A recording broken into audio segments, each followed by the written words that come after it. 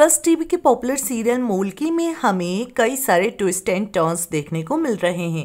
Hello दोस्तों, मैं हूँ कोमल और आप अपना चैनल देख रहे हैं बॉलीवुड स्पाई वेल जैसा कि हम एपिसोड में देखते हैं, साक्षी पूर्वी को धक्का देने वाली ही होती है कि वीरेंद्र आ जाता है और पूर्वी को ले जाता है। आगे फिर एक बार साक्षी पूर्वी को सीढ़ियों से गिराने की कोशिश करती है, पर वापस फेल हो जाती है। आगे जूही और मानस पूर्वी और वीरेंद्र के लिए एक सरप्राइज़ प्लान करते हैं। वो नदी के किनारे एक अच्छा सा सेटअप कराते हैं, पूर्वी और वीरेंद्र के डेट के लिए। आगे साक्षी अर्जुन से मिलती है और कहती है, हर कोशिश हमने की पूर्वी को हटाने के लिए, लेकिन उसकी किस्मत उसका साथ दे रही है, इसीलिए हमें तुम्हें वापस बुलाया है।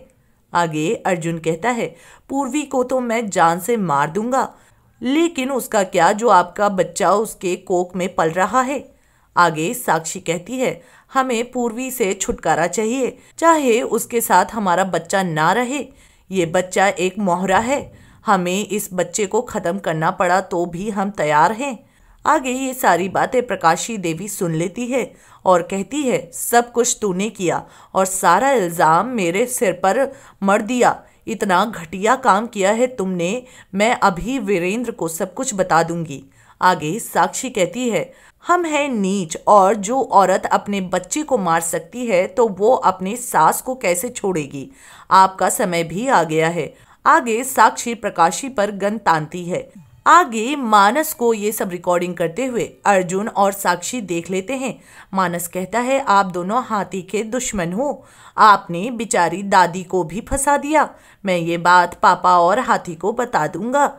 आगे मानस फ़ोन छुपा देता है और आगे मानस फिर अर्जुन पर वार करता है। आगे पूर्वी के हाथ फ़ोन लग जाता है। यहाँ एपिसोड खत्म हो जाता है। अब ऐसे में देखना यह है कि क्या साक्षी का सच पूर्वी और वीरेंद्र के सामने आ पाता है? क्या साक्षी पूर्वी को हटाने के लिए मानस को भी मार देगी? जानने के लिए देखना ना भूले मोल की टेलीविज़न के लेटेस्ट अपडेट्स और चटपटी गॉसिप्स को जानने के लिए हमारे चैनल को सब्सक्राइब करना ना भूले।